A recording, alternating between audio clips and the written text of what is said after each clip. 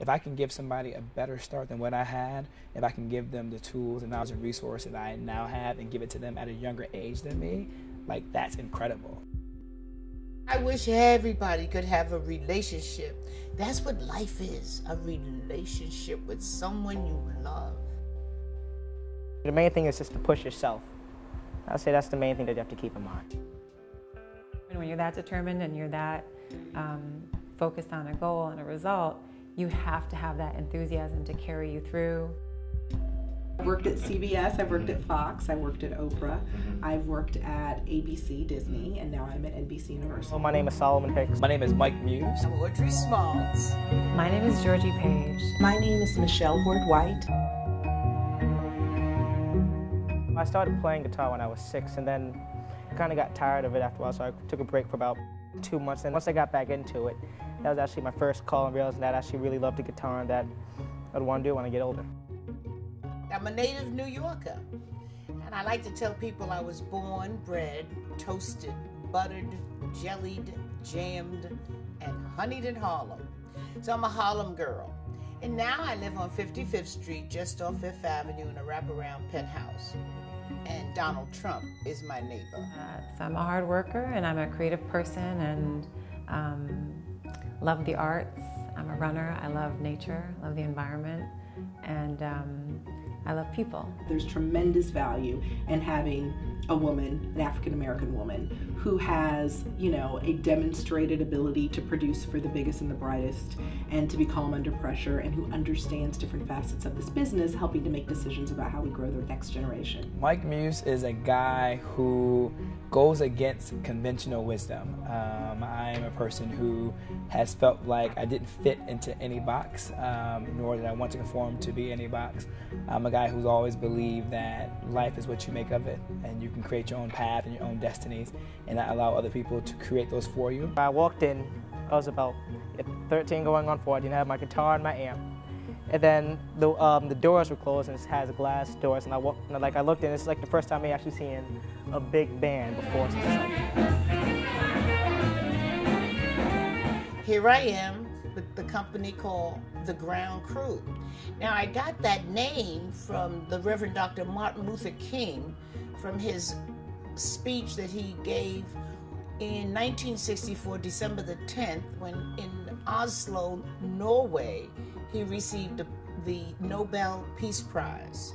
And there are two mentions in his speech about he couldn't take the flights to freedom if it hadn't been for the ground crew. Um, I went to University of Michigan. Uh, I majored in industrial engineering and did some nuclear chemical research. Um, and it wasn't something that I found myself enjoying. Um, when I graduated, I had a great offer with a major consulting firm out here in New York City, and I actually turned them down to be a bartender.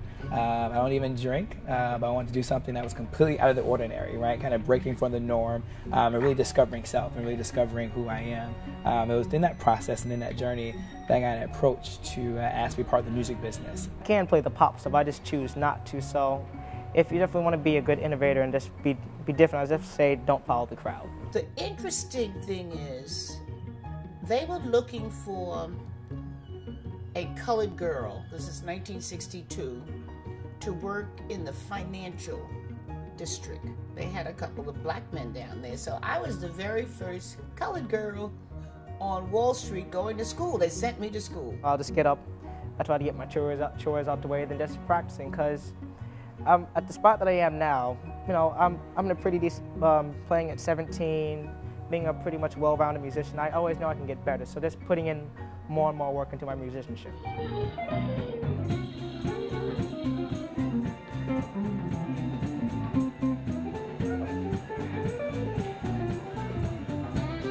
So I think, you know, whether I'm at work or just even privately, I'm curious, I'm adventurous, I want to see what the day holds and I want to see what, what you know, challenges there are and, and and um, get out and solve problems. And Every day I wake up, it's a new journey. Um, it's a new experience. I never know what God has in store for me.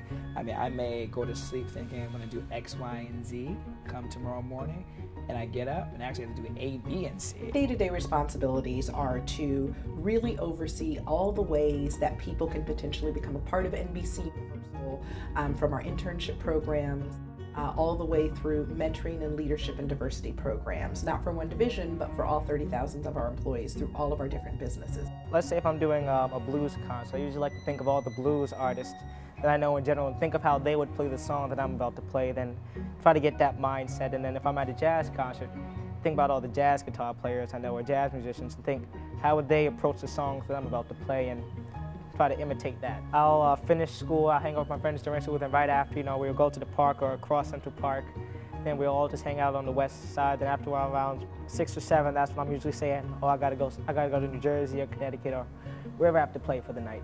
The, the biggest trait is not being afraid to fail. Um, and I think when you're not afraid to fail, you go extremely hard and aggressive to achieving whatever goal that you have because you don't believe that there's any doubt that you might not make it. Because so many people who go in business have these fantastic ideas, but they have not a clue how to be in business. They just have ideas. So, in order to be an entrepreneur, to be an innovator, to make change, you have to be well rounded. Seeing other guitar players like um, I was more into rock, so people like Jimi Hendrix, Santana, Angus Young from ACDC, seeing how they play and realizing that if I practice hard enough, maybe one day I could be like that. What's exciting about it is my job at its best is really about helping people get their break, get their shot, understand what our opportunities are, and to grow and develop them To say the thing that I enjoy most is seeing the people's reaction of when they hear music and see them get up and dance and see them enjoy themselves. In high school, they gave me the opportunity to contribute. They said, hey, we've got this idea, we want to do a scholarship um, in conjunction with the Hall of Fame. And my dad was being inducted and they wanted to kick something off. But we need something ex- a little extra hook or a little something extra special. So a friend and I went down to the University of Minnesota, went into the library and started looking at journals and um, we came up with this idea that there should be a mentorship component. And we suggested that for the scholarship. And it's been one of the things that's really distinguished it. My first role model would definitely be my parents because they're such hard workers and they kind of put that in me to just keep working on the, my weaknesses. But one of them was um, a guitar player that just died last March. His name was uh, Melvin Sparks. And he was definitely one of my biggest role models because he was one that really started me getting into jazz, playing and the role of the guitar player in the bandstand. Uh, I had a, a, a, supervisor at one point who, for whatever reason that I still don't know to this day, just did not like me. And I was used to being the A student, I was used to being the teacher's pet. And so, 10 years into my career, to walk into a political situation that was very difficult for me to navigate, that seemed to have nothing to do with me. Um, and all of a sudden, I was feeling like someone was trying to sabotage me. And uh, long story short, it worked out really well. The person wound up you know, losing their job. I wound up doing very, very well. But it's really important, I think, especially in the first several years of your career, to be clear about who you are and what defines you. Because there's always someone who will be willing to tell you that you can't do something, you're not good enough, you're not capable, and to really sort of have an internal uh, ability to say, is this about me or is this about them? And if it's not about me, then I can't own it and I can't own what they're bringing to it. And sometimes, quite frankly, on the other side, it's important to say, you know what, maybe this is about me and I need to do things differently or I need to get myself together. So being really clear about where you are and where you stand in the pecking order is really important. Wasn't connected enough um, didn't have enough resources, wasn't knowledgeable enough about any industry, whether it was music, right? I wasn't connected to anyone who was in the music industry. I never did create a song before. I was never an artist. I never could play a musical instrument. I didn't have the resources to pull things together to make it happen. Um, at the same time, in politics, right? It was that I was too young, right? I never had, I wouldn't have enough, again, resources the key word. I would never have enough resources to be able to pull off the type of feats I'm able to pull off. And I was, I was too young in the room and nobody really would give me attention or, or pay me attention. And so those are the obstacles that I confronted on a daily, no matter what industry I chose to go in. I think a lot of the obstacles that I had were probably just my own limitations. I, I wasn't, it's kind of a weird answer, but I wasn't as aware of or thinking about external limitations. Um, I was working on the internet, it was a frontier. Um, there weren't a lot of preconceived notions of what this should be and what the, what the answers were. So it was the perfect place for me because we were trying different things and everybody's input was considered. There, there, were, there were no rules. What happened, I decided I had saved $60,000. I was going to go in business for myself. I took a chance. I took a risk, R I S K. Who's to say you can't put house in an R&B song? Who's to say you can't put R&B in a rap song, right? And so that's what I'm loving most about all these genres that are out there right now is the experimentation, not afraid to go against the grain, using unconventional wisdom, unconventional methods, unconventional beats. So I think it makes music such an exciting time period right now. most kids today aren't into jazz or blues and R&B, and that's something that we haven't had in music for a long time. You know, a lot of stuff is basically on a computer based or dealing with auto tune, and there's, there's no really like musical substance. I think maybe bringing back jazz is definitely different. Mentorship is the most valuable asset that someone can have, right? And no matter what stage you are, no matter if you're in high school, college, or young professional, or, or the age I am right now, I believe that we all need mentors along the way to guide us to new places that we want to go. You keep you surround yourself with people who are smarter than you. You surround yourself with people who are younger than you, thinner than you, cuter than you, prettier than you, especially bright. You really don't want to be with somebody who's not bright because they just bring you down. You want to bring that somebody uplifts right. you. You are enough, and you don't need anything else. And that you are able to make change, and then when you do good and you do things for the right reasons, and you recognize that you are enough, great things push come. The main thing is just to push yourself. I say that's the main thing that you have to keep in mind. I recognize that it wasn't just on my own accord that's gotten me here, but that it was people who have helped me get here. Um, my family who has helped me get to the place I am right now. It's through my faith and my extreme belief in a higher power that's gotten to me where I am. And so I really believe in empowering the youth. When I was in junior high school, in high school, it was Black History Week. It was just one week.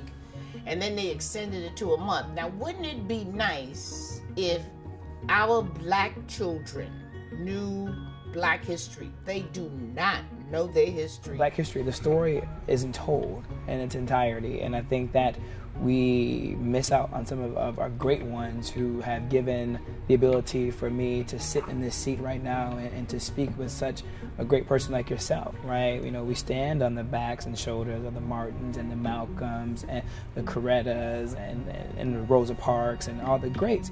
Also, too, I think that needs to be discussed. But then I also think that we need to recognize modern day history makers, right? And I believe that there's so many blacks are making strides in, in our community and in society and the world on a day-to-day basis. And so I think that needs to be celebrated. And I think we need to allow ourselves to celebrate those achievements and to celebrate those accomplishments. So we have to continue Black History Month for the next 366 days since this is leap year every single day in a black child's life should be Black History Month. My name is Mike Muse, and what makes me a differenter is that I recognize the symbiotic relationships between pop culture and politics, and that's the lane that I choose to walk, run, and love and live in. And what makes me differenter is that I was born outside of the box. And what makes me differenter is my love for jazz and being able to play it and then going against the natural ear of hearing pop. And I'm differenter because I march to the beat of my own drum, whether anyone else hears the music or not. What makes me differenter? My personality. Because she's got personality. Walk a personality. Talk a personality. Smile a personality. I get over with my personality. I'm out there, loud, big, strong, and happy. And thankful to God and to everybody, to the world. They make me who I am.